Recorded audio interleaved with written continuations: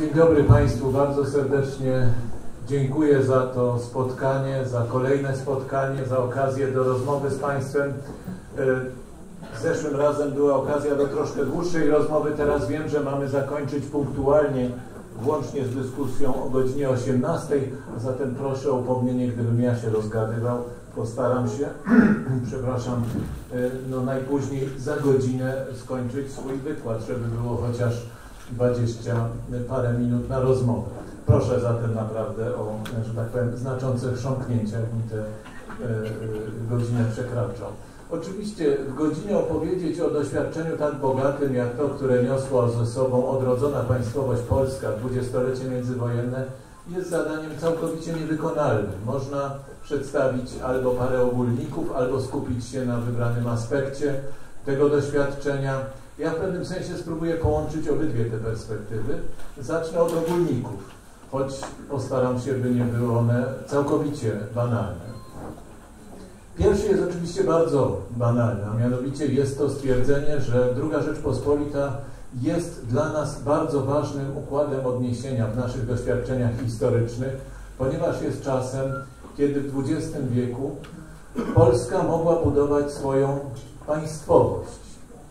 Porównujemy tę państwowość zarówno z okresem powojennym, latami 44 do 1989, okresem PRL-u, który także był formą państwowości, w którym językiem państwowym był język polski, w którym e, administracja funkcjonowała, by tak rzec, niekoniecznie według polskich wzorów, ale w polskim e, formalnie reżimie prawnym.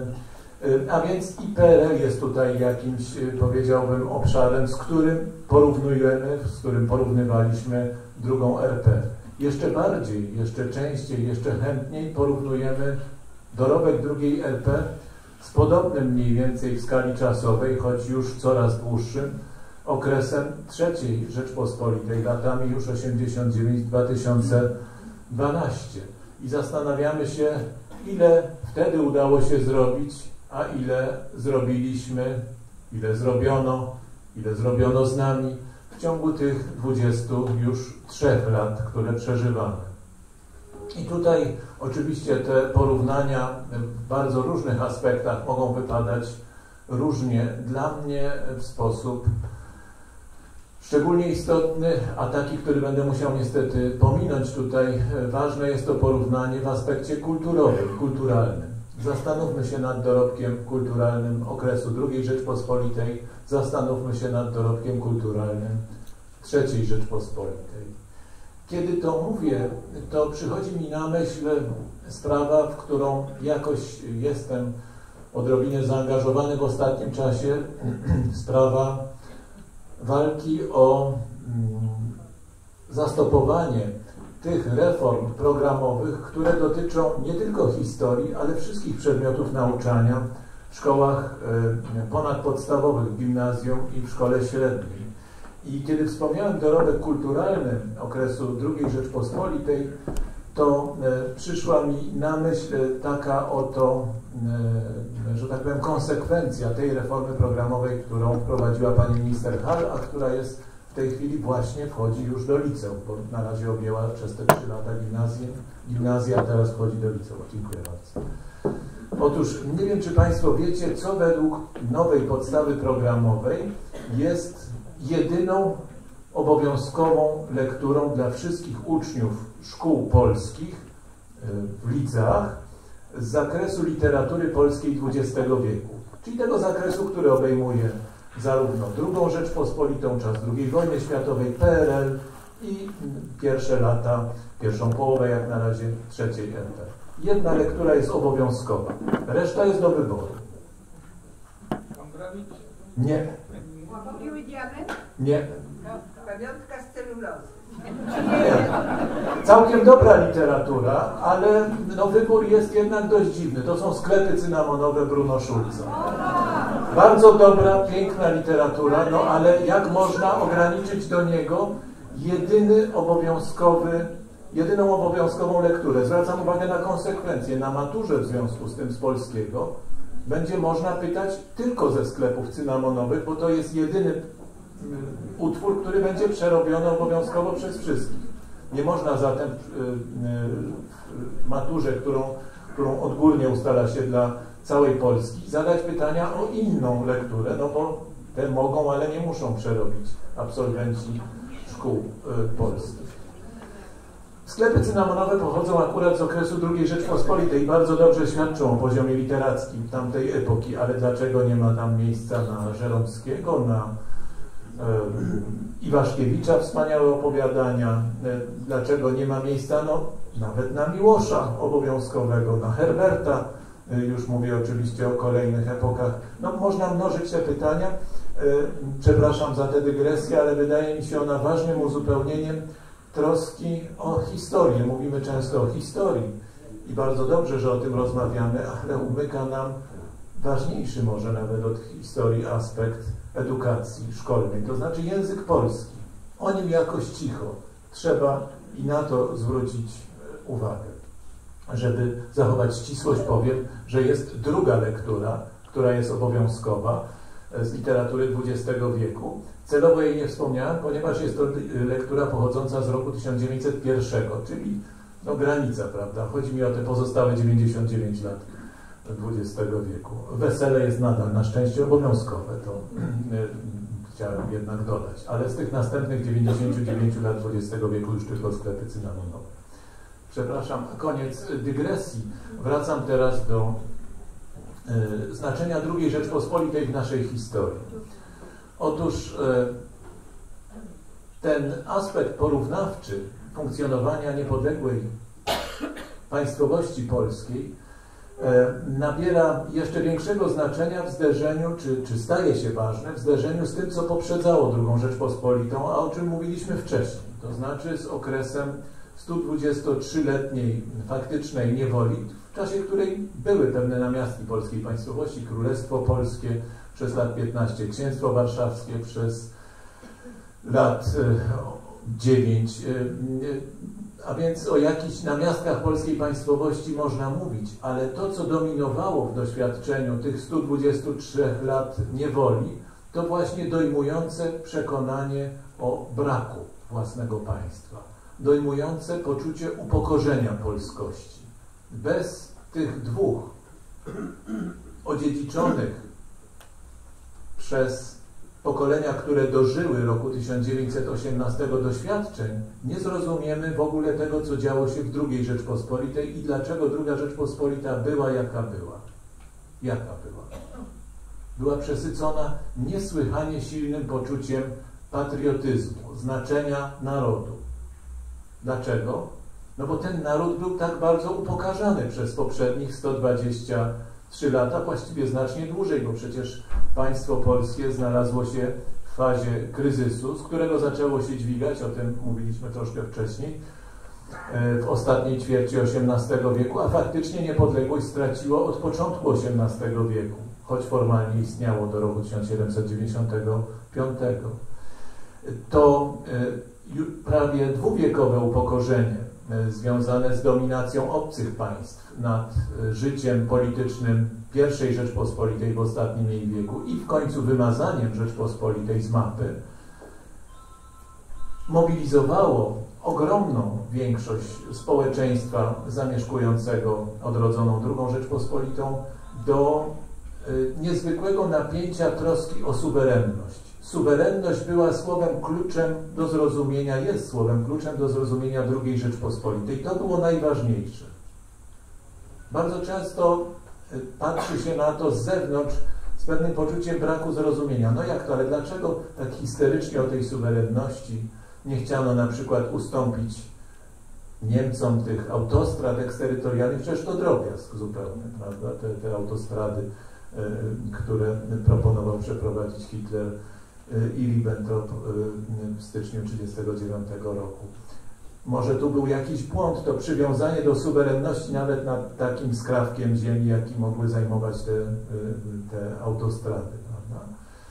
To jest tylko przykład tego, tego no niezwykle silnego napięcia, które właściwie uniemożliwiało władzom II Rzeczpospolitej, jeśli nie chciały narazić się na zarzut zdrady, zawieranie kompromisów z sąsiadami, silniejszymi sąsiadami, które postawiłyby pod znakiem zapytania tę suwerenność. Powiedziałbym, że ze względu na te emocje, czy te emocje zbiorowe związane z przeżywaniem suwerenności, możliwości pole manewru e, polskich czynników sprawczych decydujących o państwie polskim e, w okresie II Rzeczpospolitej były w jakimś sensie ograniczone. Tolerancja obywateli II Rzeczpospolitej na oddawanie suwerenności, cedowanie suwerenności na czynniki zewnętrzne była niezwykle niska. Zupełnie inaczej niż dzisiaj. Tak bym to w skrócie powiedział, skoro skoro y, porównujemy czasem, od czasu do czasu będę też to robił, drugą RP z trzecią RP. Y, drugą sprawą bardzo ważną związaną z dziedzictwem okresu wcześniejszego było to właśnie poczucie, że nareszcie jesteśmy w swoim polskim państwie. A więc odbudowujemy, odbudowujemy, by tak rzec, poczucie zakorzenienia w instytucjach, które są nareszcie nasze tych instytucjach, które wcześniej nas upokarzały pod dwugłowym orłem carskim, habsburskim czy pod czarnym orłem Hohenzollernów.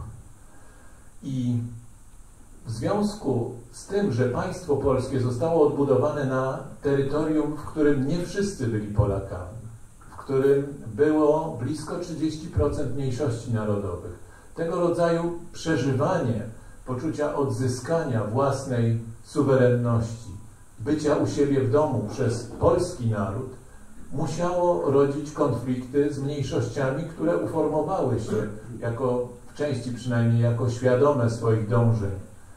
Grupy polityczne, dążeń sprzecznych z państwem polskim, musiało to prowadzić do zderzeń, do konfliktów wewnętrznych, których nie dało się praktycznie rzecz biorąc całkowicie wyeliminować.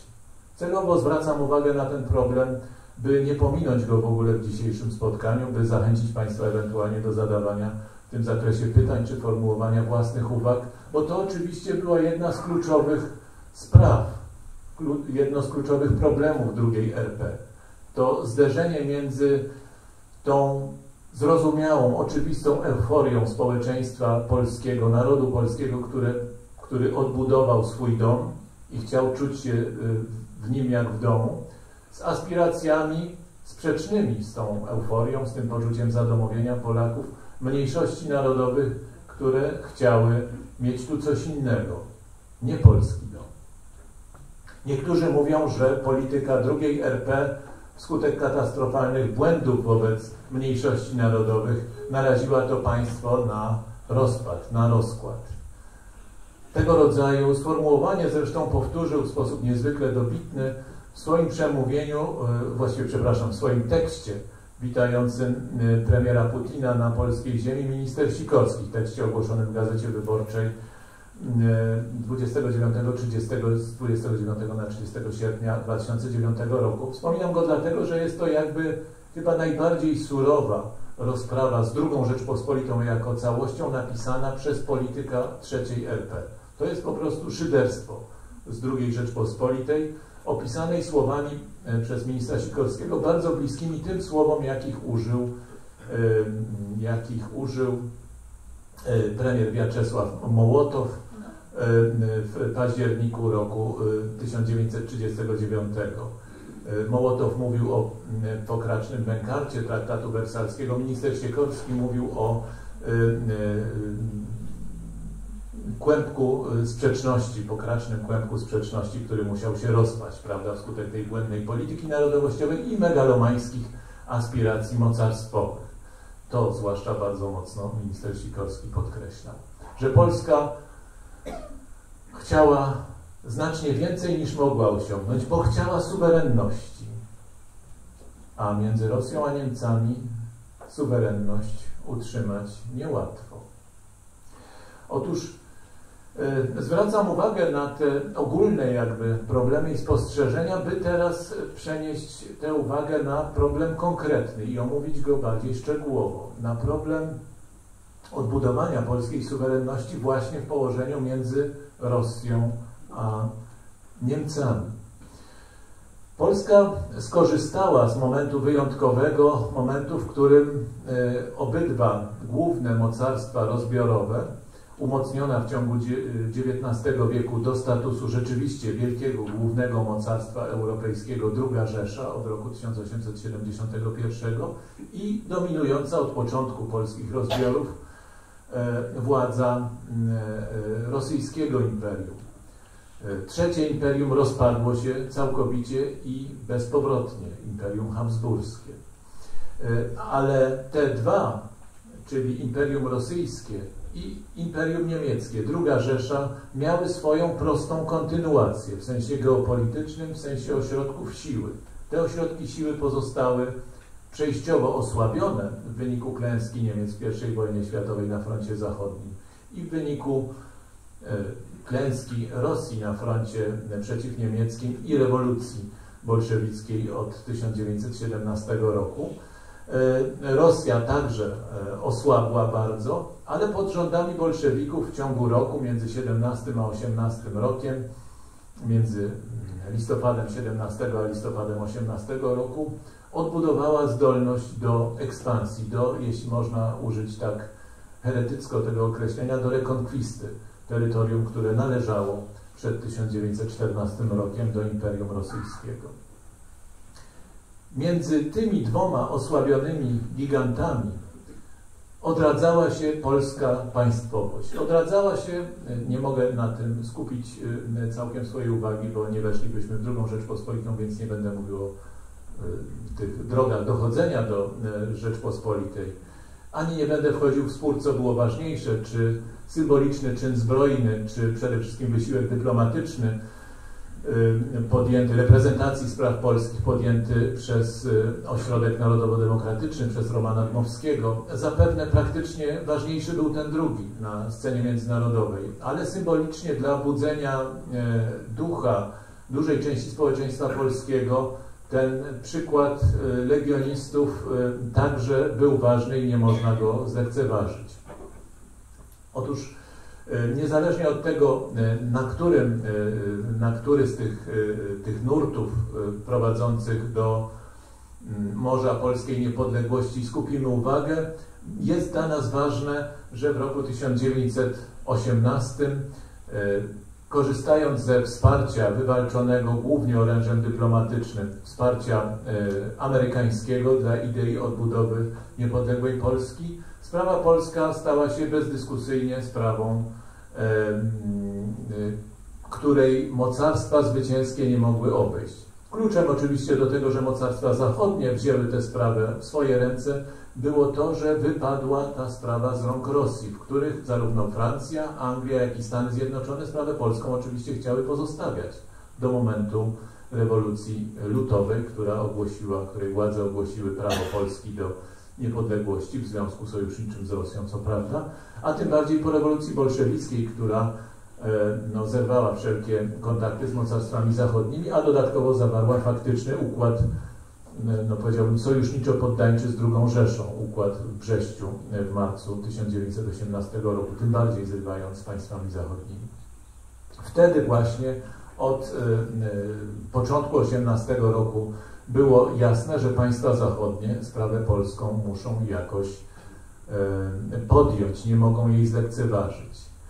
I e, pierwsze nieporozumienie, jakie bardzo często wiąże się z rozpatrywaniem tej sprawy, to jest wiara w to, że prezydent Wilson, jego doradca, e, główny doradca polityczny, do którego bezpośredni stały dostęp miał Ignacy Jan Paderewski, wielki polski pianista i gorący patriota, chcieli odbudowania Polski dużej i silnej. Prezydent Wilson ma ogromną zasługę tę, że jako pierwszy w obozie mocarstw e, e, sojuszniczych i stowarzyszonych, bo tak się łącznie nazywała Entente razem ze Stanami Zjednoczonymi, określił jako cel tej wojny odbudowanie Polski. Ale zapominamy o pozostałych, poza 13 z 14 punktów Wilsona, Y, punktach tego orędzia, które przypomniało o prawie Polski do niepodległości. Otóż stanowiły te punkty między innymi, że Rosja w swoim terytorium nie może być uszczuplona. Prezydent Wilson wyobrażał sobie terytorium Polski mniej więcej tak jak terytorium Królestwa Polskiego, do którego dołączona byłaby Galicja Zachodnia, być może i Galicja Wschodnia, także Wielkie Księstwo Poznańskie. mówił o swobodnym dostępie do morza, ale ten swobodny dostęp do morza w wyobrażeniu prezydenta Wilsona, jak wiemy to z dokumentów, oznaczał możliwość swobodnej żeglugi Wisłą do morza. Nie przewidywał wcale wybrzeża dla Polski. Co najważniejsze, prezydent Wilson i, że tak powiem, krąg jego wyobrażeń o nowym porządku politycznym na świecie zakładał to, do czego wrócił po 20 latach jego następca, e, prezydent Franklin Delano Roosevelt. Koncepcję świata podporządkowanego bez reszty woli zwycięskich mocarstw. To pierwszy prezydent Wilson wymyślił tę koncepcję, której nazwę czterech policjantów nada potem e, Franklin Delano Roosevelt. Koncepcję całkowitego rozbrojenia narodów mniejszych i średnich i zachowania kontroli, pełnej kontroli nad zbrojeniami i nad losem wszystkich mniejszych krajów przez zwycięskie mocarstwa. Konkretnie miał na myśli Wielką Brytanię, Francję e, i Japonię oczywiście na Dalekim Wschodzie, która była także sojusznikiem w I wojnie światowej Stanów Zjednoczonych. E, prezydent Wilson także zakładał, i to był bardzo ważny punkt jego widzenia świata, że Rosja stanie się jeszcze jednym mocarstwem odbudowana, wyzwolona e, z panowania bolszewickiego. Z bolszewikami prezydent e, Wilson nie chciał żadnych kompromisów zawierać, ale uznawał, że Rosja jest tym piątym mocarstwem, które musi współdecydować o losach świata. Malutka Polska obok Rosji i pokonanych Niemiec, dla których prezydent Wilson nie miał specjalnego sentymentu i w gronie zwycięskich kontrolerów światowego porządku ich nie widział, ale malutka Polska przy potężnej Rosji e, z dostępem do morza przez Wisłę tylko prowadzącym, to była ta wizja, która towarzyszyła 13 punktowi orędzia prezydenta Wilsona. Ważna, udało się ją wygrać dla sprawy polskiej, ale nie zapominajmy, nie było tam miejsca dla Polski suwerennej. Miała być Polska, tak jak inne kraje, mniejsze od wymienionych przeze mnie mocarstw, całkowicie pozbawiona armii, pozbawiona suwerennej polityki zagranicznej. Uzależniona praktycznie rzecz biorąc od Rosji, no bo to Rosja miała odpowiadać za porządek w tej części świata. E, Przedstawię teraz punkt widzenia drugiego mocarstwa, które okazało się ważniejsze dla porządku międzynarodowego w okresie międzywojennym od Stanów Zjednoczonych, a to z tego powodu, że Stany Zjednoczone ostatecznie traktatu wersalskiego nie ratyfikowały i wycofały się e, już praktycznie rzecz biorąc od początku 1920 roku z polityki europejskiej na lat e, ponad 20. Tym mocarstwem najważniejszym w gronie zwycięzców była Wielka Brytania. Politykę brytyjską kreował wtedy bez reszty jeden człowiek. To był premier e, brytyjski z pochodzenia Walijczyk, David Lloyd George, reprezentant partii liberalnej, który stał potem na czele gabinetu koalicyjnego liberalno-konserwatywnego. Całkowicie zdominował kolejnych e, sekretarzy Foreign Office, czyli ministrów spraw zagranicznych, ministrów wojny, de facto rozstrzygał o sprawach polityki europejskiej całkowicie sam jednoosobowo, wspólnie ze swoim sekretarzem e, Philipem Kerem. I to właśnie Lloyd George narzucił w największym stopniu swoją wolę w sprawie rozstrzygnięć dotyczących Polski. Lloyd George patrzył na Polskę tak, jak to wynikało z interesów brytyjskich. Niektórzy mówili między innymi w kręgu narodowej demokracji, formowali tę tezę, że wrogość Lloyda George'a do Polski wynikała z jego żydowskiej kochanki, potem podszeptów tejże żydowskiej e, kochanki, potem i jego późniejszej e, kolejnej żony. Nie sądzę, żeby do tego tylko dało się sprowadzić, że tak powiem, perspektywę brytyjskiego premiera. W istocie odpowiadała ona interesom brytyjskiego imperium. W tej części Europy Wielka Brytania nie miała żadnych istotnych interesów. Dla Wielkiej Brytanii był istotny dostęp do Morza Bałtyckiego dla floty brytyjskiej, a więc o wiele istotniejsze od Polski były dla Wielkiej Brytanii trzy republiki nadbałtyckie, które powstały e, po 1918 roku. E, natomiast to, co najważniejsze dla Imperium Brytyjskiego, to oczywiście jego azjatyckie kolonie, bezpieczeństwo tych kolonii od ewentualnej agresji e, ze strony głównego rywala w Azji, czyli Rosji, Imperium Rosyjskiego, a w Europie równowaga sił, równowaga sił y, pomiędzy poszczególnymi imperialnymi ośrodkami. Polski na, tym, na mapie tych interesów w ogóle nie było, ani w sensie ekonomicznym, ani w sensie politycznym. Lloyd George oczywiście przyjął y, wskazany przez y, prezydenta Wilsona kierunek, zgodny zresztą także przecież z wolą dużego e, społeczeństwa polskiego, tej części Europy i akceptował odbudowę państwa polskiego, ale uważał, że musi to być mały kraj, który nie będzie przeszkadzał. Podkreślał to wielokrotnie w swoich wypowiedziach, w swoich pouczeniach kierowanych pod adresem polityków polskich, że Polska powinna przyjąć status małego kraju, który godzi się z zależnością i od Rosji, i od Niemiec, i od jednego, i od drugiego sąsiada, ponieważ tylko taka Polska może przetrwać na mapie.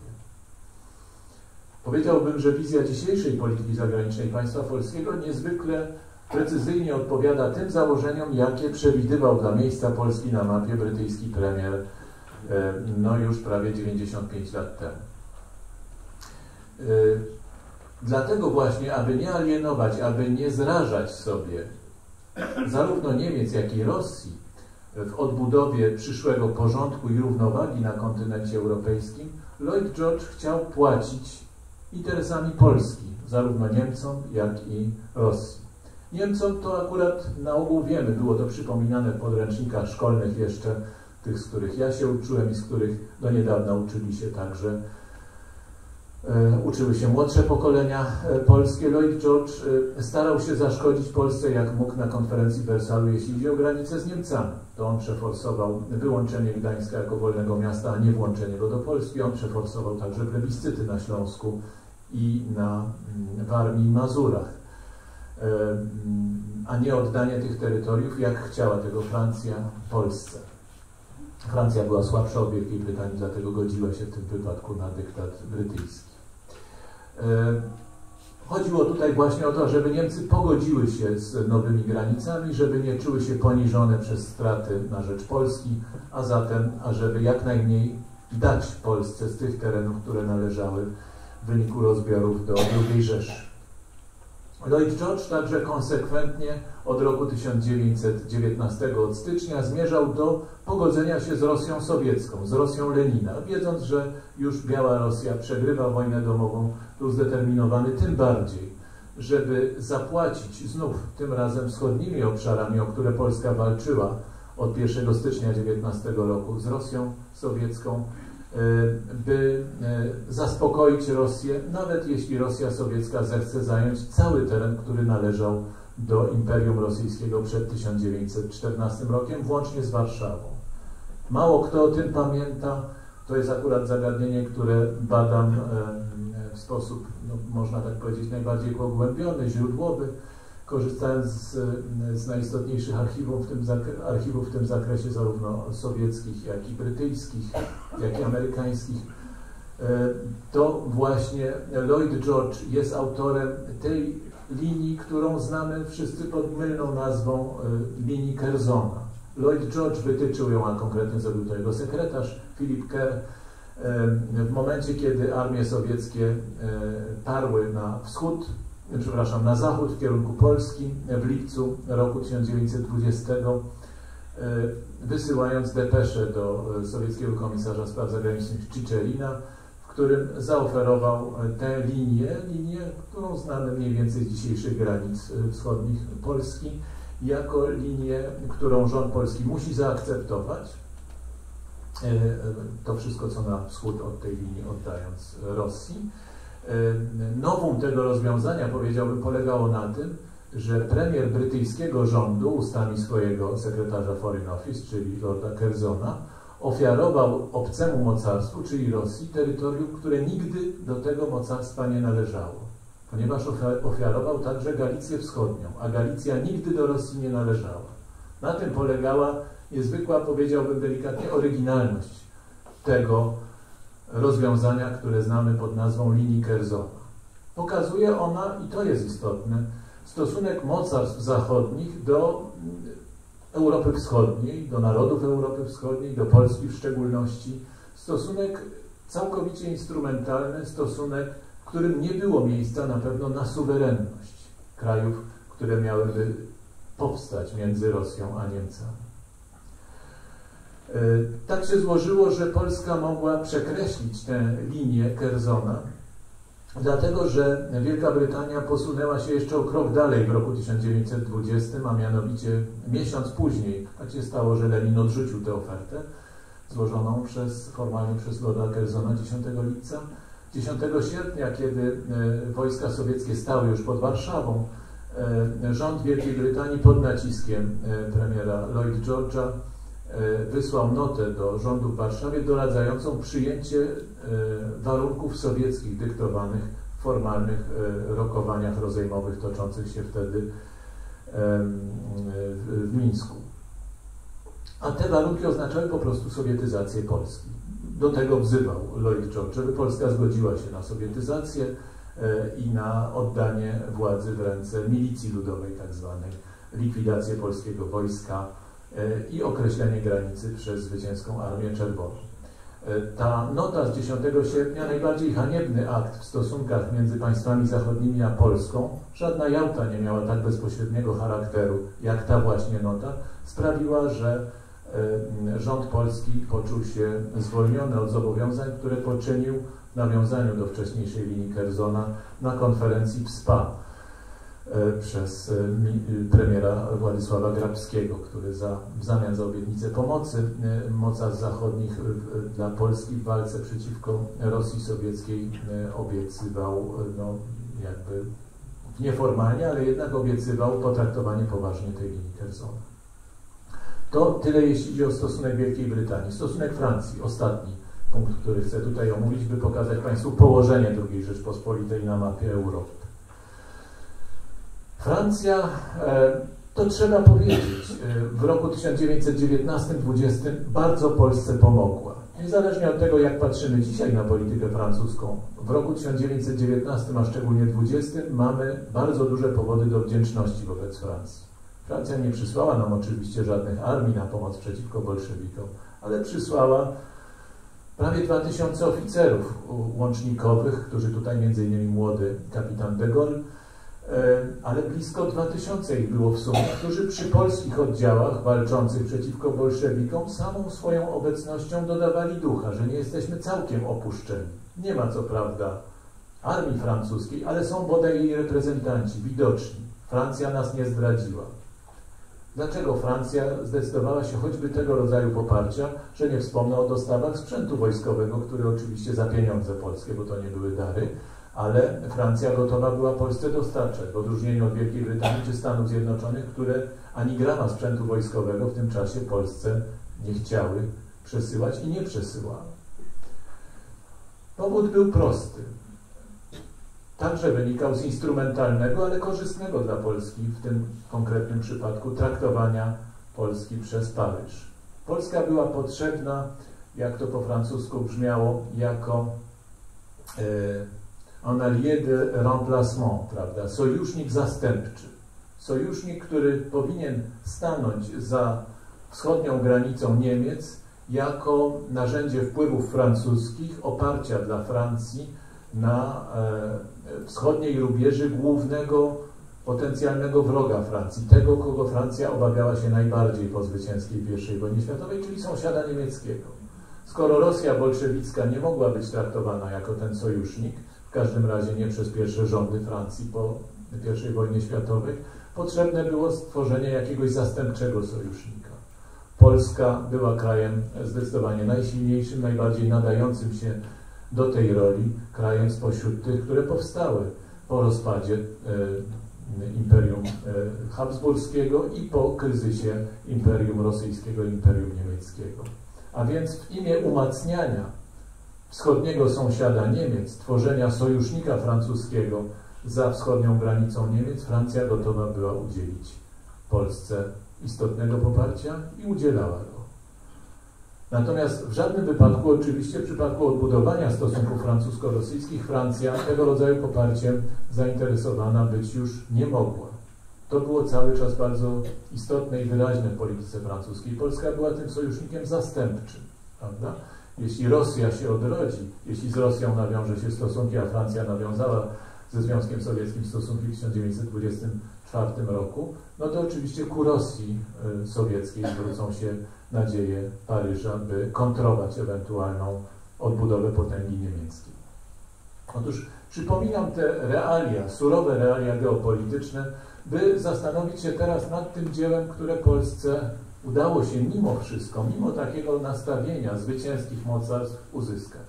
Polska nie odrodziła się po roku 1918 jako małe państwo. Takie państwo, jakiego chciały Wielka Brytania, Stany Zjednoczone, takie państwo, z jakim według y, Stanów Zjednoczonych i Wielkiej Brytanii być może mogłyby się pogodzić Niemcy i Rosja. Państwo o powierzchni mniej więcej 200-180 tysięcy kilometrów kwadratowych z ludnością między 15 a 20 milionów. Bo o takim terenie myślano. Z Warszawą i Krakowem, może z Poznaniem, ale na pewno bez Pomorza, na pewno bez Śląska, być może bez Galicji Wschodniej. To była kwestia już bardziej dyskusyjna. Na pewno bez niczego na e, e, wschód od linii Bugu. Polska odrodziła się jako kraj znacznie większy, kraj obejmujący, jak Państwo zapewne wiecie, 388 tysięcy kilometrów kwadratowych, a więc ponad dwa razy większy od tego kadłuba, który chciały odbudować zwycięskie mocarstwa, z ludnością e, blisko 30-milionową. Niektórzy historycy, powiedziałbym, że większość historyków dyplomacji międzywojennej uważa, że źle się stało, że taka Polska została odbudowana, bo to było powodem II wojny światowej, prawda? To, że Związek Sowiecki i Niemcy nie pogodziły się rzeczywiście z tak odbudowanym państwem polskim. Tak pisze Kissinger, tak pisał George Kennan, e, najważniejsi, najwybitniejsi historycy dyplomacji piszący tę historię z perspektywy anglosaskiej. Ale jeśli przyjmiemy tę perspektywę, cały czas mówię o niej, bo mam wrażenie, że ona dzisiaj dominuje w myśleniu politycznym naszych, obecnych, e, może raczej w cudzysłowie powiem, mężów stanu. E, otóż e, dlatego właśnie nawiązuję do tamtej perspektywy z okresu międzywojennego, do perspektywy historyków dyplomacji e, anglosaskich, zwłaszcza, którzy ten okres opisują, by zastanowić się nad konsekwencjami tego rodzaju spojrzenia dla polskiej historii, dla znaczenia II Rzeczpospolitej. Otóż błędność, błęd, e, błędny charakter, przepraszam, tego założenia, że takie małe państwo polskie mogłoby przetrwać między Rosją a Niemcami, e, polega, jak mi się wydaje, przede wszystkim na tym, że Rosji, Niemcom taka mała Polska była potrzebna. Ostatecznie dlaczego? Skoro przez 123 lata funkcjonowało się znacznie lepiej tym państwom bez żadnej Polski. W imię czego taka mała Polska miałaby istnieć? Jako malutki bufor między Rosją a Niemcami, Rosją sowiecką a Niemcami.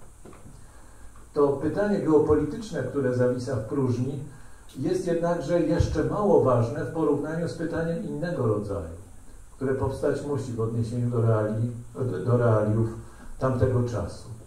To nie były normalne imperia, takie jak funkcjonowały w poprzednich wiekach.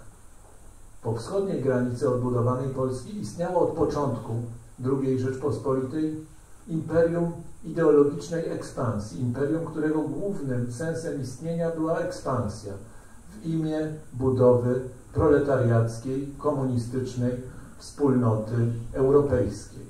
I te cele były formułowane od początku, od narady, e, na czele której stanął Lew Trocki 17 e, listopada 1918 roku w Woronerzu, kiedy odprawiał oddziały, które szły na zachód wyzwalać kolejne ziemie należące dawniej do imperium, a miały iść dalej oczywiście przez Polskę do Berlina, do Niemiec. To była racja nie stanu, ale racja ideologii państwa sowieckiego iść dalej na zachód, dotrzeć do Niemiec, poszerzyć e, bazę rewolucji światowej.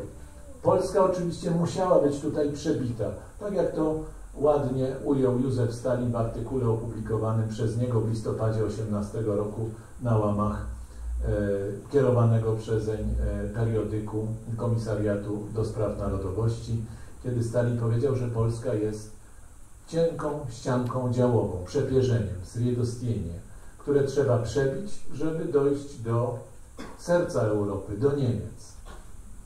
Ta logika ideologiczna i geopolityczna jednocześnie e, sprężyny, która nakręcała cały system sowiecki, była nieubłagana. Państwo niemieckie zaś po utracie sił e, w wyniku przegranej wojny zmierzało nieuchronnie do odbudowy tego, od, odbudowy tej potęgi, którą utraciło którą utraciło w wyniku przegranej wojny, do odbudowy tego statusu, które gwarantowała mu właśnie potęga na wschodzie, zrównoważenie z Rosją, współpraca z Rosją ostatecznie. Tą lekcją najważniejszą, którą duża część niemieckich polityków wyniosła z I wojny światowej, a której nie zrozumiał Adolf Hitler na szczęście dla Polski, była ta lekcja, iż Niemcy nigdy nie powinny iść przeciwko Rosji już, bo zapłaciły za to przegraną w istocie I wojny światowej. Bardzo wielu, powtarzam, polityków niemieckich już po I wojnie światowej to rozumiało. Musimy zawsze od tej pory, tak jak było od czasów Fryderyka II, iść razem z Rosją. Wtedy będziemy mogli rządzić Europą, Rosji zostawiając jej wschodni skrawek i Azję. Otóż to, że Polska zarówno w planach Romana Dmowskiego, o których realizację zabiegał z taką determinacją na konferencji pokojowej w Wersalu, korzystając ze wsparcia Francji przeciwko wysiłkom brytyjskiego premiera, jak i przejęcie, szybkie przejęcie kontroli nad wojskiem polskim, jego odbudowa przez Józefa Piłsudskiego, sprawiły, że tego rodzaju redukcja Polski do małego bufora, którego los pozostałby całkowicie w rękach jego dwóch sąsiadów, wschodniego i zachodniego, taka redukcja okazała się niemożliwa. Przez 20 lat dzięki obronieniu polskiej niepodległości podjęcie ambitnego zadania zbudowania suwerennego państwa w tym niezwykle trudnym miejscu na mapie Europy, Polska uzyskała wychowanie więcej niż jednego pokolenia, odrobinę więcej niż jednego pokolenia, najbardziej patriotycznej szkole państwowej w całej swojej historii. W II Rzeczpospolitej dokończony został proces unarodowienia mas chłopskich. Ten proces, którego sprawdzianem ostatecznym stała się kampania wrześniowa. Ile było dezercji z Wojska Polskiego we wrześniu 1939 roku? Mniej niż w jakiejkolwiek armii w czasie I wojny światowej. Francuskiej, niemieckiej, po prostu ci chłopi, którzy przeszli przez szkołę drugiej Rzeczpospolitej, choć już okazali swoją dojrzałość, biorąc masowy udział w pierwszych wyborach e, e, w, w styczniu 1919 roku, przypomnę, dużej części niepiśmienne, niemałej części niepiśmienne społeczeństwo polskie, e, poszło do urn wyborczych ponad 70% uprawnionych do głosowania. Miażdżące zwycięstwo listy narodowej w tych pierwszych wyborach blisko 50% głosów. E, tu chodzi mi o sam fakt masowego udziału.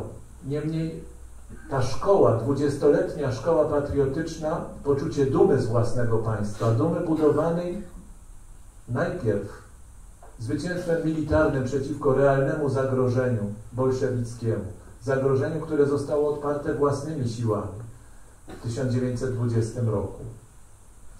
Po drugie, poczucie dumy z odbudowy, połączenia trzech zaborów i odbudowy suwerennego państwa także w jego elementarnej infrastrukturze gospodarczej. Poczucie dumy z Gdyni, z tego zbudowanego obok Gdańska, polskiego okna na świat. Pięknego, nowoczesnego miasta, największego portu na Bałtyku, zaledwie w 10 lat po zbudowaniu, po rozpoczęciu budowy tego miasta poczucie dumy z tych gmachów instytucji publicznych, które powstawały w polskich miastach. Wystarczy rozejrzeć się w tych miastach, które nie zostały zniszczone przez II wojnę światową, na przykład w Krakowie, by zobaczyć, jakie gmachy powstały w trzeciej RP, jakie powstały w drugiej RP. Dzisiaj powstają tylko banki. Nie ma innych instytucji użyteczności publicznej, dużych, widocznych. Słucham? No może jakieś muzea jeszcze powstają, prawda? Nie jest ich wiele. E, zupełnie inaczej wygląda ten dorobek, nawet materialny, jeśli rozejrzymy się po infrastrukturze polskich miast, tych, które należały do II Rzeczpospolitej. Gdzie jest dzisiaj polska Gdynia, możemy zapytać. Prawda? Gdzie jest dzisiaj polski centralny ośrodek przemysłowy zbudowany e, e, zgodnie z planem ministra, wicepremiera Kwiatkowskiego.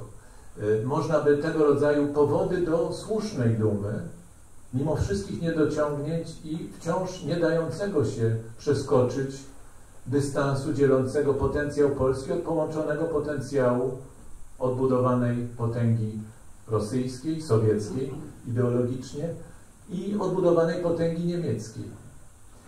To jednak to poczucie do dumy było usprawiedliwione, podobnie jak poczucie dumy wynikające z dorobku kulturalnego tamtej epoki, z bogactwa życia kulturalnego tamtej epoki, o którym wspomniałem na samym wstępie, tylko zaznaczając e, to bogactwo. Na tym poczuciu dumy także z symbolu państwa.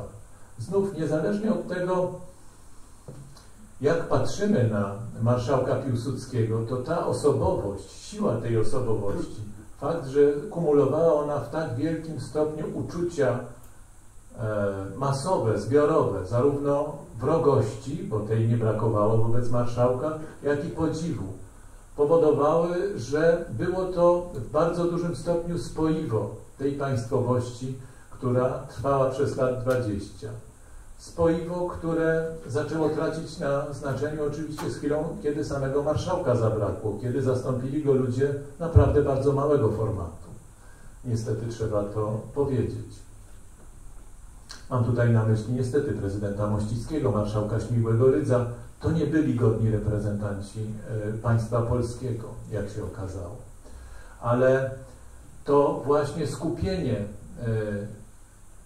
uwagi obywateli emocji obywateli, na osobie e, marszałka Piłsudskiego, na tych wartościach, które najjaśniej wyrażało słowo suwerenność w tej postaci skupionej, dodatkowo wzmacniało jakby tę lekcję patriotyzmu, którą odebrały pokolenia, w szczególności to jedno młode pokolenie, czy nieco więcej niż jedno młode pokolenie, które przeszło przez szkołę II Rzeczpospolitej. Ale nie tylko dla Polski, istnienie II Rzeczpospolitej miało fundamentalne znaczenie. Istnienie na przekór, jeszcze raz to chcę właśnie podkreślić, na przekór wielkim mocarstwom, na przekór logice geopolitycznej, która nie zostawiała miejsca na tym obszarze dla silnego, suwerennego państwa polskiego. To, że to państwo powstało, że obroniło się już własnym przede wszystkim wysiłkiem, sprawiło, że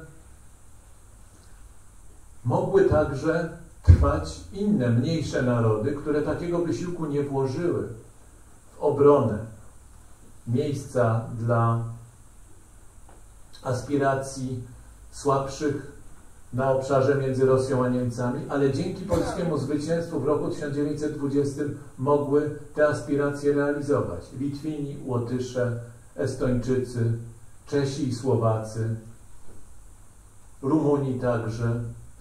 To te narody, państwowości, które bez polskiej determinacji walki o suwerenność Polski w roku 1919-20 nie przetrwałyby pierwszego szturmu Rosji sowieckiej na Europę.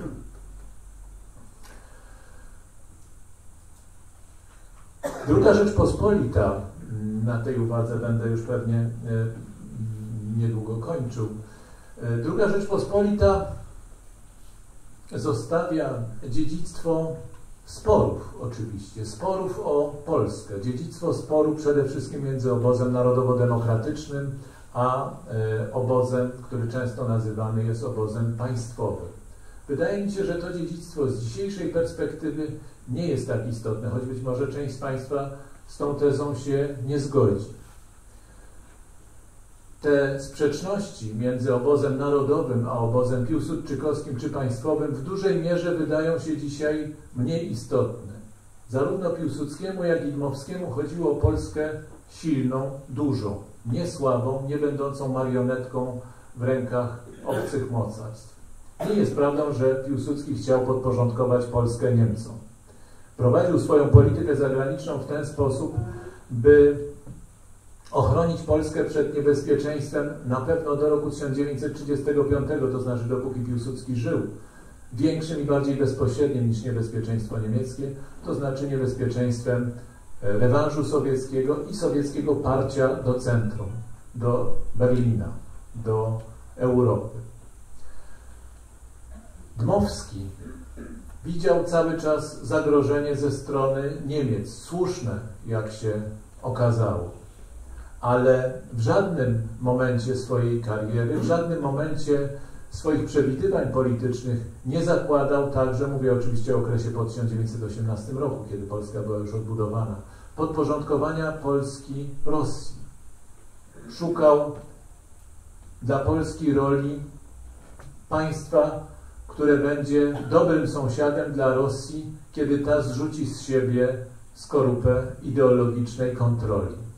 Wierzył, że to nastąpi szybko, że Rosja, konfrontując się coraz bardziej nieuchronnie w walkę na Dalekim Wschodzie o swoją pozycję w rywalizacji z Chinami, z Japonią, będzie chciała zabezpieczyć sobie flankę zachodnią dobrymi stosunkami z zachodnim sąsiadem, czyli z Polską.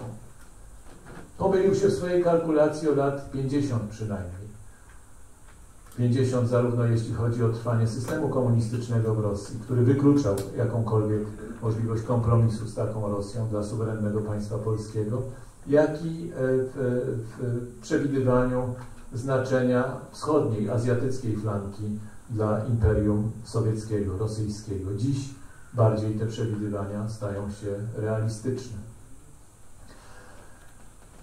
Zarówno więc jeden, jak i drugi mąż stanu, którzy obaj, choć niejednakowo, ze względu na fakt, że Dmowski nie przejął władzy II Rzeczpospolitej, a Piłsudski jego obóz sprawował ją niemal nieprzerwanie e, przez większą część czasu II Rzeczpospolitej, e, ale obaj wywarłszy ogromny wpływ na, e, na kształt tego państwa, kształt nie tylko polityczny, ale wychowawczy, bo choć narodowa demokracja władzy nie sprawowała, to sprawowała rząd dusz nad dużą częścią społeczeństwa polskiego, spotykali się na pewno w jednym najważniejszym.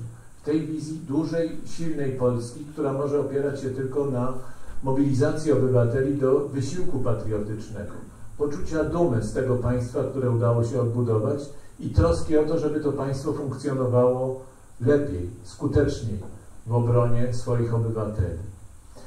Ta duma, którą odczuwali twórcy polskiego państwa, te miliony twórców polskiego państwa, niezależnie od tego, czy odwoływali się do Romana Dmowskiego, czy do Józefa Piłsudskiego, czy do Wincentego Witosa, także jego można tutaj, choć na pewno gdzieś niżej w tej grupie liderów e, odrodzonego państwa polskiego wymienić.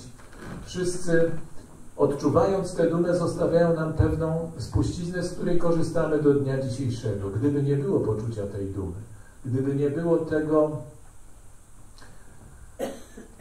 poczucia wartości bycia Polakiem, które tworzyła szkoła polska w II Rzeczpospolitej, gdyby nie było poczucia przekonania o wartości osiągnięć, jakie stworzyło to państwo w granicach blisko 400 tysięcy kilometrów kwadratowych, Państwo, które upominało się o swoją suwerenność między Rosją a Niemcami. To Polska wyglądałaby zupełnie inaczej w roku 1945. Wiemy, Stalin zabrał nam 188 tysięcy kilometrów, prawie 190 tysięcy kilometrów kwadratowych kresów wschodnich. Ale to, że Polska otrzymała niejako w zamian 105 tysięcy kilometrów kwadratowych ziem zachodnich, nie było tylko wynikiem kalkulacji geopolitycznej Stalina ale było wynikiem faktu, że po pierwsze Polska była pierwszym członkiem koalicji antyhitlerowskiej i po stronie państw zachodnich było oczywiste także, e, kiedy włączyła się do tej koalicji e, e, Moskwa, że Polska nie może zniknąć z mapy po II wojnie światowej, nie może być wchłonięta przez zwycięskie mocarstwo sowieckie, ale jako państwo musi uzyskać rekompensatę za te straty terytorialne, które wymusza potęga Stalina. Wielkość tej rekompensaty wynikała z poczucia utrwalonej już przez 20 lat obecności Polski na mapie Europy. Obecności, w której nie było małego, karłowatego państwa, pokracznego kłębka sprzeczności, tylko było średnie państwo, ambitne państwo, pełne energii swoich obywateli, państwo, które nie dało się zredukować do roli przedmiotu. Dlatego Polska otrzymała te 105 tysięcy kilometrów kwadratowych także dlatego kosztem e, Rzeszy Niemieckiej po II wojnie światowej. Ale co jeszcze ważniejsze, korzystamy z tego dorobku nie tylko w wymiarze terytorialnym. Korzystamy z tego dorobku, który tworzyła ambicja utworzenia dużego państwa, silnego, suwerennego państwa, któremu służyli nasi przodkowie w okresie II RP. Korzystamy jako z wzoru który mobilizował później tych, którzy protestowali przeciwko władzy komunistycznej. z wzoru ambitnego patriotyzmu, patriotyzmu niepogodzonego z małością, z małością, do której jesteśmy namawiani codziennie dzisiaj w trzeciej RP. Dziękuję bardzo. Bardzo serdecznie dziękuję Panie Profesorze za ten wspaniały wykład i chciałbym bardzo podkreślić to, co Pan Profesor w tak bardzo mocno eksponował. To jest właśnie to poczucie dumy, które było równie obecne u twórców II Rzeczpospolitej, jak i u jej obywateli. Ta duma, która przeradzała się w troskę, a jednocześnie, kiedy była, było trzeba, po prostu dawała zdolność do ofiary. I jak gdyby z drugiej strony chciałbym przytoczyć badania, które były przeprowadzone chyba bodajże dwa lata temu wśród emigrantów e, na Wyspach Brytyjskich, e, gdzie emigrantów z różnych krajów poddano takiemu badaniu i zadano właśnie pytanie w kontekście, czy jesteś dumny ze swojego kraju, z przynależności do narodu, którego jesteś przedstawicielem. Czytałem to dwa razy, bo jakoś nie chciało wejść do głowy. Polacy, polscy emigranci poddani temu badaniu uplasowali się na 35 miejscu. Z poczucia dumy z bycia Polakiem, z polskości, z Polski. Ja myślę, że to badanie oczywiście ono jest przeprowadzone pewnej próbce ludzi, którzy podjęli pewne decyzje, znaleźli się daleko. Jest to też, no, różne tutaj można elementy brać pod uwagę, ale to coś nam mówi o nas jako narodzie, o państwie, w którym żyjemy i o, o tym, jak wiele zaniedbano, by tego elementu, który buduje, tworzy, który właśnie pozwala nam być dumnymi w tym miejscu, w tym czasie i z tej wspólnoty, której jesteśmy elementem. Ja myślę, Panie Profesorze, że na pewno trzeba się nad tym pochylać, ale jak gdyby to jest zadanie adresowane do wszystkich. Aby nie było takich sytuacji, że sami sobie będziemy z trudem udowadniali, pytając się, kasta polska. Ale teraz przejdźmy do pytań. Proszę bardzo. Żalem, którego wykładu wysłuchałem dzięki niepoprawnemu radiu, a widzimy tu niepoprawne radio. Nie, nie pomnę tytułu, ale zwróciło moją uwagę, że profesor Żaryn wyodrębnił trzy rodzaje patriotyzmu, które w historii Polski się przejawiały, może geograficznie w stosunku do państw zaborczych. I wyodrębnił te trzy, powiedział, insurekcyjny, federalistyczno-republikański, takich nazwał, i ten trzeci, narodowo-katolicki, który nazwał samorządowym. Pytanie moje, ja oczywiście poproszę o komentarz do tego, ale pytanie moje jest takie, czy siła Solidarności, pierwszej Solidarności, nie wynikała z tego, że te trzy patriotyzmy się jakoś tak skumulowały i to wybuchło takim wielkim entuzjazmem i teraz, w ten moment, w jakim jesteśmy, w którym wygląda na to, że że może więcej nas niż te 30% z 50, które chodzi do głosowania, się jakoś zaczyna budzić. Jaki teraz jest moment, na który z tych y, patriotyzmów, czy na wszystkich razem, tak jak było to w pierwszej Solidarności, jak przypuszczam, nie wiem, czy pan profesor się zgodzi. Gdzie jesteśmy w takim momencie? Y, dziękuję bardzo zarówno za ten głos y, współgospodarza dzisiejszego spotkania, jak i Pani pytanie. Pozwolę sobie najpierw nawiązać tylko króciutko do tego ważnego głosu pierwszego. By uzupełnić najprostszymi danymi tę e, bardzo skrótową pogadankę o II Rzeczpospolitej. Przypomnijmy, że między 1919 a 1939 rokiem ludność II Rzeczpospolitej wzrosła o ponad 30%, z 25 milionów do 35 milionów. I mówię to także dlatego, że w poprzednich 20 latach ludność tego samego terenu zmniejszyła się około, znaczy nie, y, przyrost demograficzny był oczywiście, ale wyemigrowało z tego terenu blisko 4 miliony ludzi za pracą. W okresie drugiej RP też trwała jeszcze emigracja za pracą, ale o nieporównanie mniejszym stopniu wyemigrowało łącznie około pół miliona osób w ciągu całej drugiej RP. I to świadczy o jakimś bilansie. Pół miliona wyemigrowało w poprzednich latach, kiedy nie było państwa polskiego, wyemigrowało z tego samego obszaru blisko 4 miliony ludzi, a 10 milionów ludzi nowych przybyło. I to jest może najprostszy wymiar sukcesu drugiej RP. Pan Marian Ćwik e, wspomniał o 30 którymś miejscu w tym, e, w tym rankingu, że tak powiem, identyfikacji i dumy z krajem swojego pochodzenia. Dla mnie najważniejszym elementem tego rankingu, który trzeba uwzględnić, jest miejsce e, Polski na liście uszeregowanej według tego, co demografowie nazywają dzietnością, czyli e, jakie są perspektywy przetrwania polskiego e, narodu. Najnowsze dane e, najważniejszej instytucji demograficznej na świecie ustaliły, że Polska znajduje się pod tym względem na miejscu 206 na 220 państw, jakie istnieją na świecie ostatnim w Europie. No, mówi się, że Europa stary kontynent, więc tu wszyscy wymierają. Nie, jesteśmy pod tym względem liderem Europy. I w roku 2100 według tego samego źródła na obszarze, który dzisiaj zajmuje państwo polskie, co będzie w 2100 oczywiście nie wiemy, szacuje się, że będzie zamieszkiwało 17 milionów osób. E, no i pytanie właśnie, czy wiąże się to jakoś z poczuciem dumy, czy nie? Do tego chcę nawiązać. Otóż myślę, że ma to ścisły, bezpośredni związek. Jeżeli jesteśmy dumni z kraju, w którym żyjemy, jeżeli widzimy w jego istnieniu jakiś sens,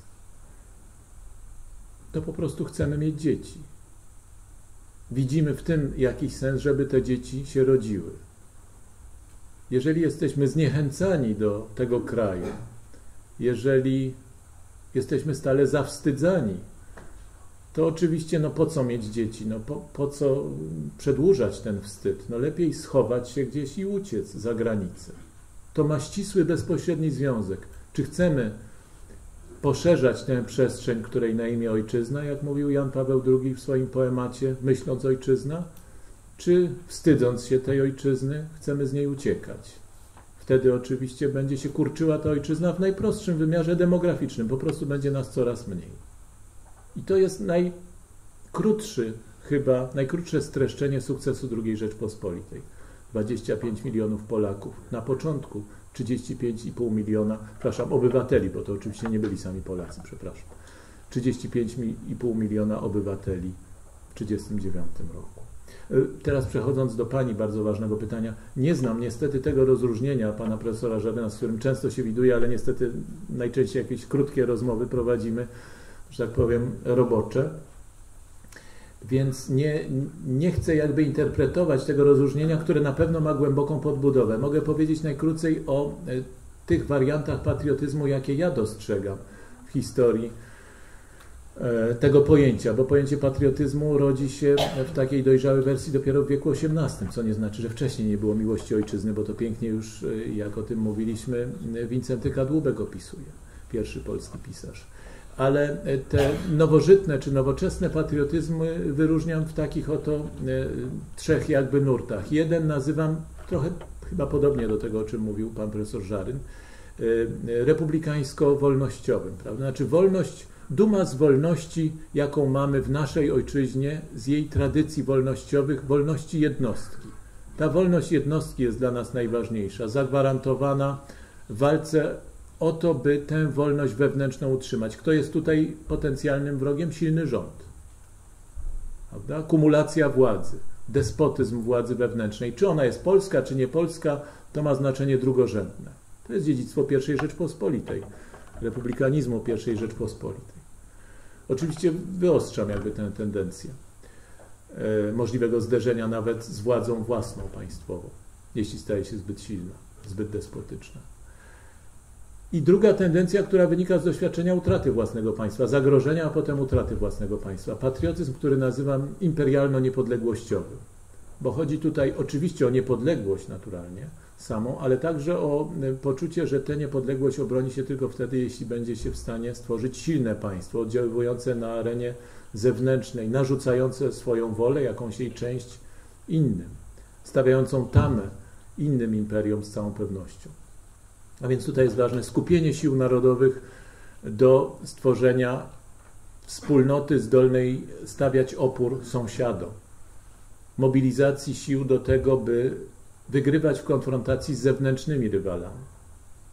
To w największym skrócie. I trzeci, trzecia formuła, która rodzi się i która wyprowadza poza patriotyzm czasem, to jest patriotyzm liberalny, prawda? w którym wolność mierzona jest wzorcem zewnętrznym, nie własnej wolności, wcale nie, indywidualnej, nie związanej z poczuciem dumy z polskich tradycji, które tę wolność zabezpieczały indywidualną, nie siłą swojego państwa i jego suwerennością właśnie, ale wzorem, który zrodził się w Europie Zachodniej, wzorem liberalizmu, który charakteryzuje jakby zupełnie inna filozofia człowieka. Człowieka, dla którego najważniejszy jest aspekt materialny, sukcesu materialnego i zdolność zaspokojenia tego sukcesu materialnego w sposób indywidualny, na drodze indywidualnej. Prawda? Pod tym względem niedoścignione są wzory anglosaskie, brytyjski, holenderski, e, prawda? Do nich można nawiązywać, ale widać, że te wzory są ulokowane poza własnym państwem ostatecznie, prawda? Niektórzy mówią, że no chodzi o to, żebyśmy też wygrywali w tym wyścigu cywilizacyjnym, w którym liberalna cywilizacja wygrywa, więc przyjmijmy te reguły gry. Ale no, tu pojawia się właśnie problem granicy. Można wyjść poza te granice identyfikacji z własną wspólnotą i uczyć swoje dzieci tylko po angielsku, licząc na to, że zostaniemy zaakceptowani w korporacjach międzynarodowych na równych prawach z tymi, którzy urodzili się w Londynie jako Anglicy, jako Amerykanie w Nowym Jorku itd. Itd. No tego rodzaju powiedziałbym e, identyfikacja patriotyczna ostatecznie ma swój moment próby, kiedy okazuje się, jesteś z Polski, no to prezesem nie zostaniesz, możesz zostać co najwyżej prezesem do spraw współpracy z Europą Wschodnią. Prawda? Tak, tak w skrócie bym ten problem, z którym współcześnie entuzjaści liberalnego patriotyzmu się e, stykają. To jeszcze chińskiego się uczyć. Tak, może tak, może tak, ale też będzie ten problem na końcu, prawda? No, należysz do narodu Han, czy nie należysz, prawda? Co, dobrze, że mówisz po chińsku, ale to nie wystarczy. Otóż wydaje mi się, że dzisiaj potrzebna jest synteza na pewno tych dwóch pierwszych patriotyzmów. Synteza to nie jest antagonizm. One powinny razem ze sobą e, uzyskać synergię. Tak jak nie widzę powodu do dalszej kontynuacji sporu Piłsudczyków e, z dziedzicami e, narodowej demokracji, widzę znacznie więcej wspólnej przestrzeni do działania dzisiaj. Tak samo nie widzę potrzeby konfliktu między tymi dwoma rodzajami patriotyzmu i widzę problem z patriotyzmem liberalnym. Nie wyrzucałbym wszystkich tych, którzy idą w tym kierunku ale zetknąwszy się z pewnym realnym problemem, muszą wybrać, czy są bardziej liberałami, czy bardziej patriotami. Proszę bardzo. Chciałem panu profesorowi wszystkim państwu przypomnieć, że my tu w Warszawie jesteśmy tuż od placu Wilsona i jest komitet y, powołania, postawienia pomnika prezydentowi Wilsonowi. Trochęśmy się wczytali w te, y, y, w te dokonania prezydenta Wilsona i dochodzimy do wniosku, że nic by nie było z Polski, gdyby jednak nie prezydent Wilson. Na temat y, gospodarki inny prezydent amerykański, niedawno zapytany prezydent Clinton, co jest dla ciebie najważniejsze? Gospodarka głupcze. I ten centralny okręg przemysłowy akurat obchodzi 75-lecie i chcę Państwu powiedzieć, że też z ciekawych lektur polskich Wańkowicza, e, Wańkowicza e, sztafeta nie mogła się dotychczas ukazać. Dopiero jest jego pierwszym wydaniem. Także my pana profesora powiadomimy, kiedy ten kamień węgielny, któryśmy już poświęcili na mszy świętej za starsze poprzedniego burmistrza, wkopiemy i i zaczniemy stawiać pomnik. Dziękuję bardzo. Dziękuję bardzo. Przepraszam, tutaj pani.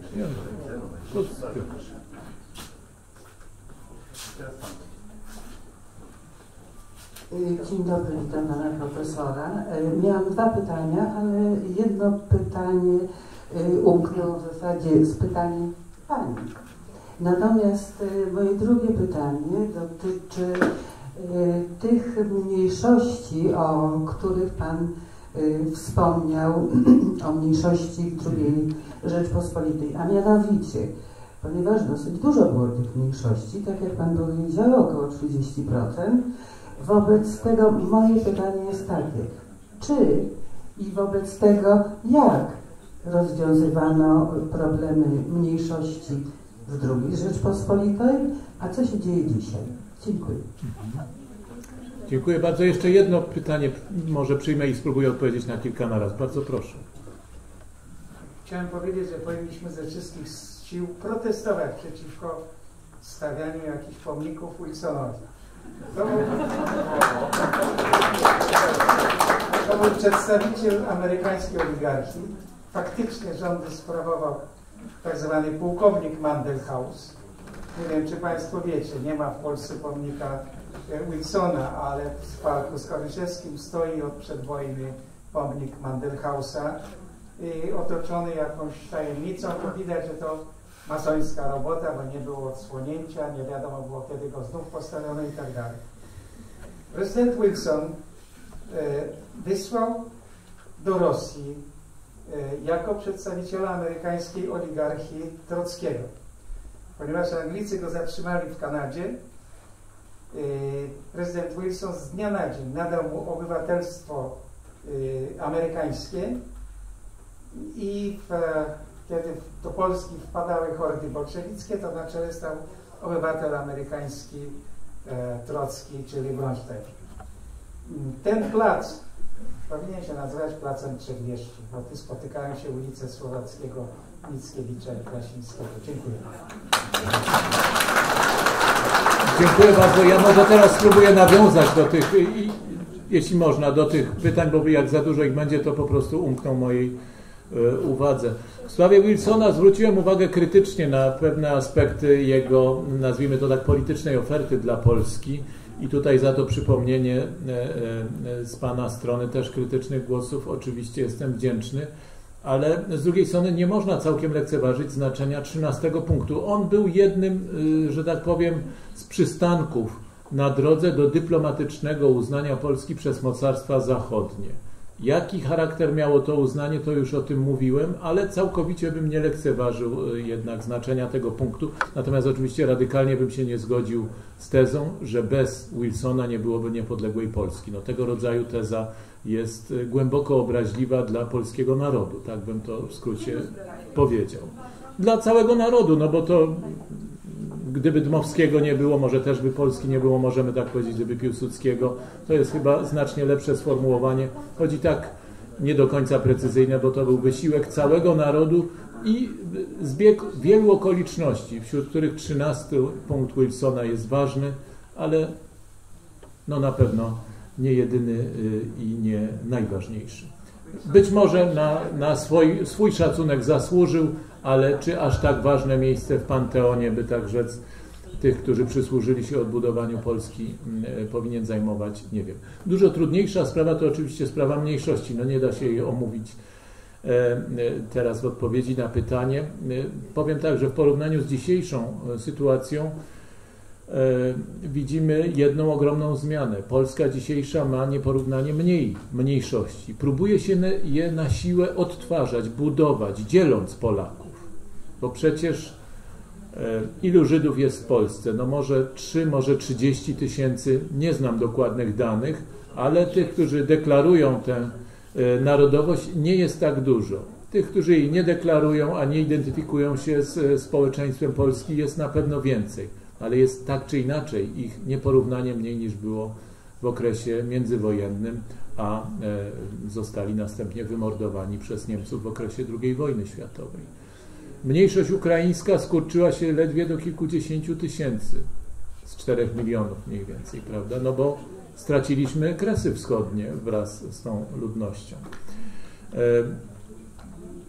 oczywiście to samo dotyczy mniejszości białoruskiej. Mniejszość niemiecka, która liczyła blisko milion osób, między pół miliona a milion II Rzeczpospolitej, no dzisiaj także mimo e, pozyskania przez Polskę terenów po 1945 roku jest znikoma, dlatego próbuje się tworzyć dzisiaj naród śląski, prawda?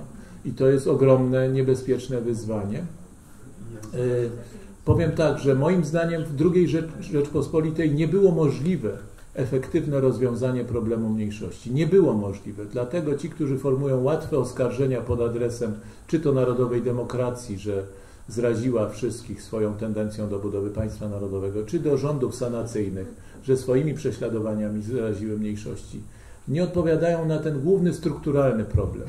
Ukraińcy chcieli dołączyć się do państwa ukraińskiego, jakiego miraż stworzył im pokój brzeski przez Niemcy, do wielkiego państwa ukraińskiego. Przy ten miraż w jakimś sensie rozwijali w innej perspektywie także bolszewicy do połowy lat 30., sugerując, że jest możliwe rozwijanie ukraińskiego życia narodowego, komunistycznego w treści. Dopiero Wielka Czystka to, to że tak powiem, ten miraż rozwiała. E, no oczywiście Niemcy chcieli do dołączenia do, do Rzeszy, a zatem e, Żydzi z kolei odwoływali się do obietnicy, o jaką walczyła znaczna część ich elit politycznych, obietnicy przekształcenia Polski w kraj, który będzie drugim domem dla Żydów, obok tego, który dopiero nieśmiało zaczęto budować w Palestynie. Prawda? Przecież pamiętajmy, że Józef Piłsudski drugiego dnia po objęciu urzędu naczelnika państwa przyjął delegację żydowską, która domagała się spełnienia takich właśnie warunków, no powiedziałbym, współdecydowania o tym polsko-żydowskim domu, jak sobie to wyobrażamy. To także było trudne do zaakceptowania w tej, w tej formie, a niezdolność Polski do zaakceptowania takiego, takiej formuły oczywiście powodowała trwałość napięcia w stosunkach polsko-żydowskich. No oczywiście fakt, że duża część Żydów y, wiązała się z ruchem komunistycznym, nie przeważająca, ale nie mała.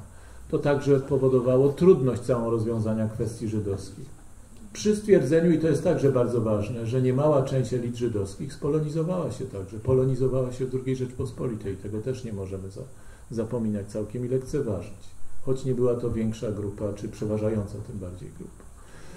A więc w drugiej RP moim zdaniem rozwiązanie problemu mniejszości nie było możliwe, trwale. To był problem, z którym druga RP musiała się borykać. W trzeciej RP problem mniejszości jest wytworzony sztucznie, jest wytworzony sztucznie, ponieważ jesteśmy krajem z dużych państw świata, mówię dużych, powiedzmy z pierwszej trzydziestki pod względem wielkości gospodarek, jedynym obok jeszcze dwóch, Korei Południowej i Japonii. Tak jednolitych narodowościowo. Tylko Korea Południowa i Japonia są tak jednolite narodowościowo jak Polska. Tworzenie tutaj problemu mniejszości jest tworzeniem problemu właśnie przez te elity liberalne, które nie chcą tożsamości polskiej, które uważają tę tożsamość za jakieś obciążenie, jednolitość narodową za wielki problem. W istocie, niezależnie od wspaniałego dziedzictwa kulturowego, które dziedziczymy po I Rzeczpospolitej, wieloetnicznego, wielowyznaniowego, to fakt, że jesteśmy państwem jednoetnicznym oszczędza nam ogromnie wiele problemów. Niszczenie tego jest po prostu niemądre, nazwijmy to tak najdelikatniej. E, wiem, że nie odpowiedziałem szczegółowo na, na postawione tu pytanie, no ale dłuższa, dłuższa wypowiedź jest już niemożliwa. Przepraszam, tu jeszcze. Proszę Państwa, możliwe, natomiast są tylko jeszcze dwa pytania, dlatego że punktualnie o 18 możemy zakończyć, więc tutaj Pan i Pan i na dzisiaj będzie tyle. Józef Piłsudski chciał namówić Francję, Francuzów do e, wspólnej wojny, agresywnej wojny przeciw Niemcom, tak zwanej wojny prewencyjnej, do której nie doszło no, z, z Francji. Oni się nie zdecydowali. E, byłoby to pociągnięcie, moim zdaniem, bardzo dobre. Niemcy były słabe, Polska silna, Francja. Można było, przewidując przyszły bieg wydarzeń, pokonać przyszłego groźnego przeciwnika. I teraz powstaje takie pytanie.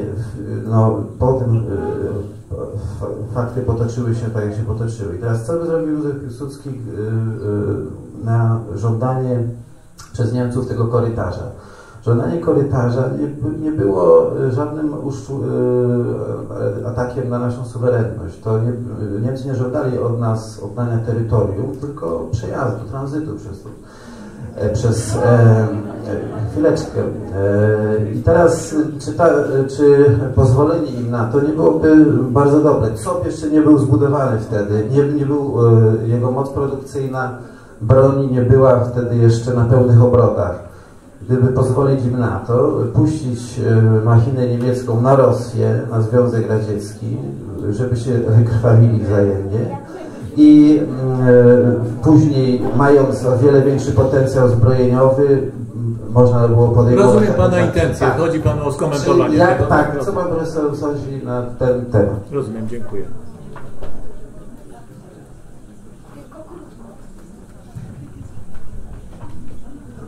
Wspomniał pan profesor o różnicach kulturalnych w drugiej i trzeciej RP, kulturowych, osiągnięciach powiedzmy. A ja chciałbym zapytać, jak pan profesor oceni różnice w podejściu inżynierskim do drugiej Rzeczpospolitej i trzeciej. Jeżeli weźmiemy pod uwagę tego krytykowanego prezydenta Mościckiego, to on był wspaniałym naukowcem, nieporównywalnym. Pierwszy prezydent Narutowicz zelektryfikował Szwajcarię, uregulował Ren Niemcom, nam dał wizję zabudowy Wisły i Sanu. Profesor Bartel, pięciokrotny premier, nawet Władysław Sikorski, inżynier dróg i mostów, i Beck nawet, Józef Beck i tak dalej, i tak dalej. To byli ludzie, którzy rzeczywiście coś umieli. A dzisiaj mamy niedouki. Taki pół historii, przepraszam, Rozumiem e, także chyba intencję tego pytania i całkowicie się z Panem zgadzam. E, Ale powiem prowokacyjnie, że w porównaniu z dorobkiem właśnie tym inżynierskim, nazwijmy to tak w skrócie, czy inżyniersko-przemysłowym drugiej RP, możemy dołączyć także doświadczenie PRL-u. I PRL ujawni nam się jako, powiedzmy, czas rajskiego rozkwitu w porównaniu z trzecią RP. Nie z drugą RP, ale z trzecią RP. Trzecia RP zlikwidowała ten dorobek, który w różnych aspektach, ja nie jestem rzecz jasna żadnym entuzjastą PRL, ale jeśli idzie o rozbudowę potencjału inżynierskiego, e, budowania zespołów ludzkich, które mogły coś budować i budowały, bo nie mało przecież nawet w PRL-u zbudowano. Specjalnie używam tego przykładu, żeby nie mówić o oczywistościach, o, o ogromnym sukcesie drugiej RP pod tym względem. To zostało właściwie celowo i świadomie zdemontowane. I to jest być może największa strata tych ostatnich 20 lat. Bo różne rzeczy można nadrabiać szybko, ale odbudowania całych gałęzi przemysłu nie da się zrobić w rok, w 10, nawet często w 20 lat. to sabotaż. Profesor Kierzun to porównuje bardzo. Tak, tak, także no myślę, tutaj zwrócił Pan uwagę na rzecz fundamentalnie ważną, bardzo za to dziękuję. Zwracam uwagę, że nawet, nawet PRL w tym kontekście wydaje się kontynuacją pewnych dobrych tendencji, gospodarskich, tak bym powiedział, w odniesieniu do potencjału e, narodowego, przemysłowego, mimo oczywiście fatalnych skutków uzależnienia od sowieckiego centrum. Natomiast py- fachowcy byli. tak, byli fachowcy, było szkolenie tych fachowców, była jakaś świadoma praca na rzecz dobra wspólnego, można tak powiedzieć. Materialnego także. Natomiast e, sprawa wcześniej przez e, Pana poruszona, perspektywa e, zgody polsko-niemieckiej w 1939 roku. Wiadomo, że profesor świętej pamięci Paweł Wieczorkiewicz taką wizję rysował. Niektórzy rysowali, zresztą wstydliwie przemilczana dzisiaj rzecz, bo to taki pół, półświęty tradycji tygodnikowo-wyborczej. Stanisław Stomma wprost napisał w sierpniu 1939 roku, że trzeba pójść z Niemcami na, e, na Rosję, prawda? dogadać się z silniejszym, czyli z Niemcami. E, No, więc były takie głosy. E, Mnie się wydaje jednakże, że stwierdzenie, że ta zgoda z Niemcami byłaby dla Polski korzystna, jest wysoce ryzykowne. Ja się osobiście z nim nie zgadzam, choć nie ma tu rozstrzygającego mm, dowodu w tej sprawie, bo historia nie jest nauką eksperymentalną. Nie da się powtórzyć tego i sprawdzić, co by było gdyby. Dlaczego widzę w tym ryzyko większe niż możliwe pozytywne skutki? Po prostu po oddaniu eksterytorialnej y, autostrady, po przyznaniu Gdańska Niemcom, czyli rezygnacji z polskich praw do tego miasta, Polska naturalnie zerwałaby wszelkie stosunki łączące ją z państwami zarówno zachodnimi, jak i możliwość porozumienia ze Związkiem Sowieckim. Po prostu znalazłaby się wyłącznie na łasce państwa niemieckiego. Potencjał niemiecki rósł rzecz jasna dużo szybciej od potencjału polskiego. Oczywiście Polska być może uniknęłaby tej katastrofalnej dewastacji, jaka spotkała ją w wyniku napaści niemieckiej w 1939 roku. Ale czy uniknęłaby wojny, czy uniknęłaby w ogóle zniszczeń wojennych? Stałaby się całkowicie bezsilnym sojusznikiem Hitlera. No nierównym, niezabezpieczonym niczym, bo nikt nie mógłby Polsce pomóc już. Jako komuś, kto oddał się Hitlerowi, paląc za sobą wszystkie mosty. Tu widzę pewnego rodzaju niebezpieczeństwo.